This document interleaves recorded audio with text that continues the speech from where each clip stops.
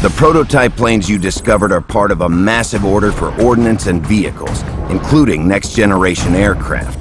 The order was placed by Edward Page, who we believe was acting as a proxy for Tong and KTR. General Popovich, Edward Page, General Tong.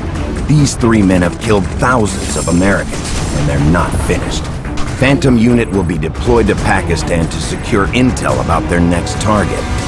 This is an unsanctioned military action in a foreign country. Do whatever it takes to prevent another attack on American soil.